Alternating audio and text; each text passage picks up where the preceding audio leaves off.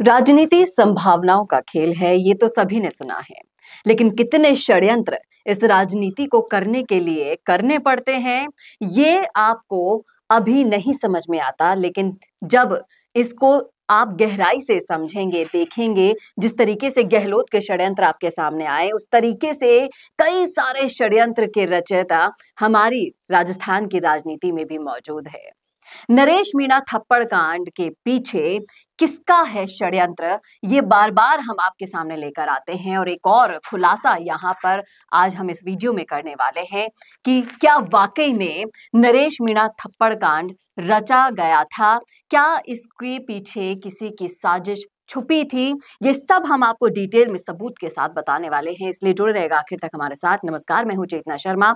आप देखना शुरू कर चुके हैं संवाद भारत का, भारत के लिए। और इस मुद्दे पर बातचीत करने के लिए एक्सपोज करने के लिए हमारे साथ मौजूद हैं हमारे editor in chief Varun Bhansali ji.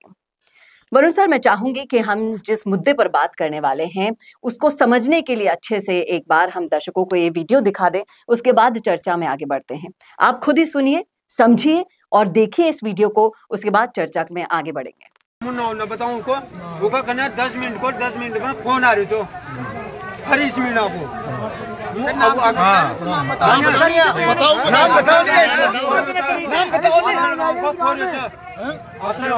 छ जब कैंडिडेट कांग्रेस को उम्र लागड़ी मार गाड़ी। आठ सु लगा सी गाड़ी आठ मु घूम रहे छो छोरा को फ़ोन कर रहे छो मु गाँव गाँव में फ़ोन वो या खेव छो मार गाड़ी ने फोड़ का वेट करे था। दकाला पे हो चवान फिर भी मु क्यों मार भैया पहुँच गए हम जाओ। हाँ आ कितनी देर लगेगी? वो भी आ रही थी यहाँ की बच्चियाँ भी आ रही आ आ माँ बाप बच्चा गाँव में घूमे में ले छू फ़ोन आउँछ हरि देउडी भेटिरहेको छ होइन? फ़ोन आउँछ म साइडमा खटेर म मार काकाजीका छोराको फ़ोन गरेर सिमुन नाउँको म हरिसको जित भएको मको छ? सारा गाउँमा हरिस नरेश नरेश भाई साहब कौन करे जो उसका कहना वो आदमी मार खाने बैठा ना जीतन। गोल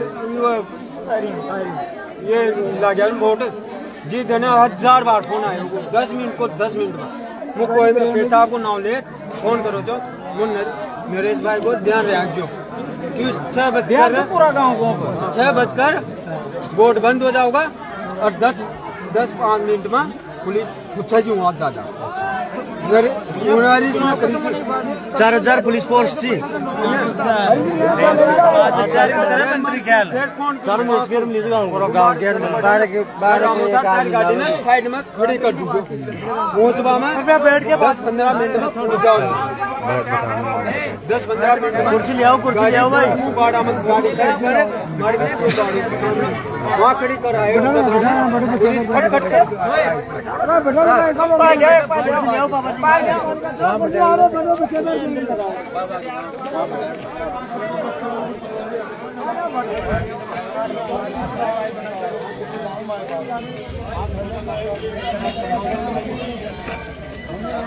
तो देखा आपने समझा आपने कुछ? नहीं समझे तो चलिए हम समझाते हैं। वरुण सर आप बताइए कि ये जो बातचीत का दौर इसमें चल रहा था और उसके बाद जो समझ में आ रहा है क्या आपको नहीं लगता कि नरेश मीणा थप्पड़ कांड एक रचा गया षड्यंत्र था? देखिए इस बातचीत में आपको ये समझ में आ रहा होगा कि ये शख्स बार बार कह रहा है कि ये जब घटनाक्रम घट रहा था तो कई बार हरीश मीणा का फ़ोन आ रहा था वो प्रॉपर उसका डेवलपमेंट ले रहे थे और उससे पहले भी उन्होंने कई बार आ, इस पूरे को करना कैसे है जो समरावता में हुआ था उस पर बातचीत लोगों से की थी गाड़ियाँ घुमा घुमा कर की थी यही सब कुछ वो बोल रहा है। इससे साफ़ समझ में आता है कि ये सबके पीछे हरीश मीणा थे। अब आप सोच रहे हैं कि ये षड्यंत्र क्यों हुआ? अगर ये सोच रहे हैं तो तो खैर पॉलिटिक्स षड्यंत्रों का ही खेल है। आप फहरिस्त उठा के देख लीजिए कब षड्यंत्र नहीं हुआ? क्या महिपाल मदेरना के साथ हुआ, वो षड्यंत्र नहीं था। क्या सचिन पायलट के साथ हुआ, वो षड्यंत्र नहीं था। क्या 25 सितंबर को जो कांग्रेस के आलाकमान के साथ हुआ, वो षड्यंत्र नहीं था। क्या उम्मीदवार बेरीवाल को जिस तरीके से छीना गया, वो षड्यंत्र नहीं था। षड्यंत्र हर मौके पर पुरजोर तरीके से लगातार होते रहे। जिस तरह से गहलोत के ओएसडी ने पेपर लीक से लेकर और दूसरी चीज़ों से लेकर षड्यंत्र बताए, फ़ोन टेपिंग से लेकर, षड्यंत्र तो लगातार होते रहे। उसी तरीके का षड्यंत्र यहाँ पर भी ऐसे षड्यंत्र की बू आ रही है कि ये जो थप्पड़ कांड था, ये सब कुछ हरीश मीणा द्वारा किया गया था। आप इस बात को समझिए कि केसी मीणा जैसे कैंडिडेट को लाना जो भी हम्म। हरीश मीणा की पसंद बताते हैं क्या वजह थी? जब आपके पास टोंक जैसी धरती से जहाँ से खुद सचिन पायलट है इतने लोकप्रिय लोग होने के बावजूद आपने केसी मीणा को क्यों चुना? हम्म। और फिर आपने ये थप्पड़ कांड क्यों रचा? ये सारी चीज़ें बताती है कि षड्यंत्र तो बहुत ज़बरदस्त था। लेकिन इससे हरीश मीणा का क्या फ़ायदा हो सकता है? इसके पीछे की अगर षड्यंत्र करने की चीज़ों को अगर हम समझना चाहें तो कहीं ना कहीं कुछ फ़ायदा होगा तभी षड्यंत्र रचा जाता है। तो देखिए, उनका क्या फ़ायदा? मीणा समाज का नेता कौन बनेगा टोंक से? मीणा समाज का सबसे बड़ा नाम कौन बनेगा टोंक से? लोकप्रियता किसकी सबसे ज़्यादा होगी और किसका छीछा लेदर होना चाहिए? ये सब कुछ करने के लिए ही हरीश मीणा ने ये किया क्योंकि वहाँ से अगर कोई और बहुत ज़्यादा पॉपुलर हो जाए हम्म। जीत जाए अगर नरेश मीणा तो फिर बट जाएगा सब कुछ। एक छत्र राज नहीं चलेगा।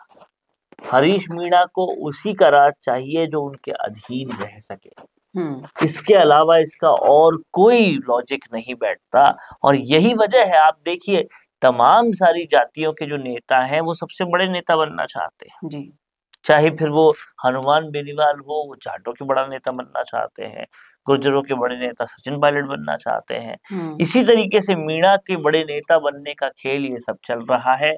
कि रोडीलाल मीणा जिस तरीके से आज मीणा समाज के सबसे बड़े नेता का एक छत्र राज वो कर रहे हैं वो अपने कारणों की वजह से कर रहे हैं लेकिन ये लोग भी बनना चाहते हैं और उसके लिए सारे षड्यंत्र हो रहे हैं।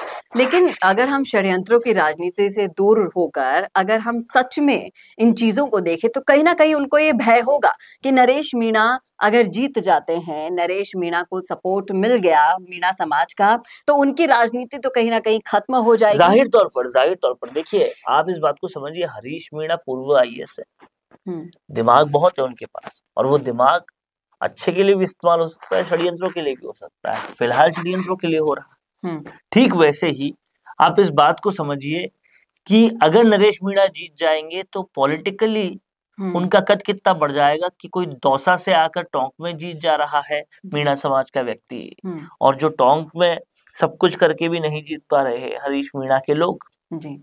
तो ये हरीश मीणा के लिए एक तरह से डिमीन होने वाली बात थी तो वो सामदाम दंडभेद करके किसी भी तरह से नरेश मीणा को हराना था। तो आपको नहीं लगता कि ये दाव उनके ऊपर उल्टा पड़ गया? जिस तरीके से गाँव में देखिए दाव खेला इसलिए गया होगा।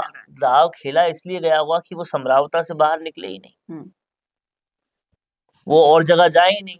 हम्म, और इलेक्शन के वक्त अगर कैंडिडेट सब जगह नहीं जा पा रहा तो कहीं ना कहीं उसका पावर कम हो रहा है।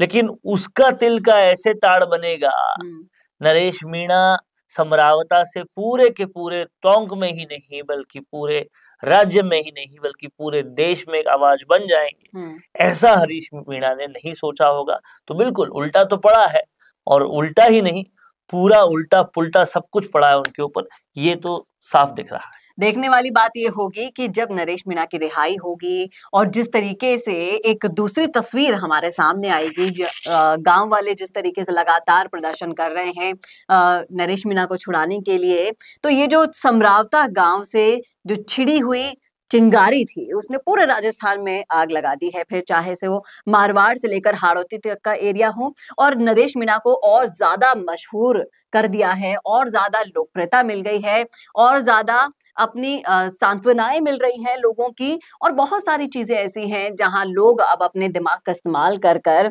आगे मीणा समाज जैसे जो नेता हैं, इनको सपोर्ट करेंगे क्योंकि जिस तरीके से किरोड़ी लाल मीणा लोगों के बीच में गए, वहाँ पर एक बहुत ही शानदार तरीके से उनसे सवाल पूछा, समाज के वहीं खड़े हुए नेता ने और थप्पड़ पर जवाब मांग लिया, जिसका निरुत्तर हो गए। किरोड़ी लाल मीणा, जवाब नहीं दे पाए कोई तो यहाँ लोगों को अच्छे से समझ में आ रहा है कि ये किसका षड्यंत्र है, किसके लिए रचा जा रहा है, क्यों रचा जा रहा है।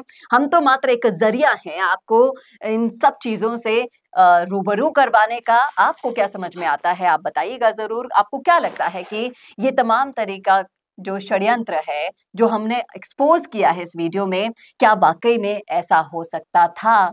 हुआ है या फिर क्या है इसका परिणाम? फ्यूचर में बताइएगा ज़रूर कमेंट पे। करके कमेंट में राय अपनी लिखिएगा ज़रूर। कैसा लगा वीडियो ये बताना ना भूलेगा और ऐसे ही और वीडियोस के लिए। देखते रहिए संवाद भारत का, भारत के लिए। नमस्कार। पॉडकास्ट सेटअप्स तो मिल रहे हैं, लेकिन एंकर नहीं है। पॉडकास्ट सेटअप और एंकर मिल गया तो एडिटिंग नहीं है।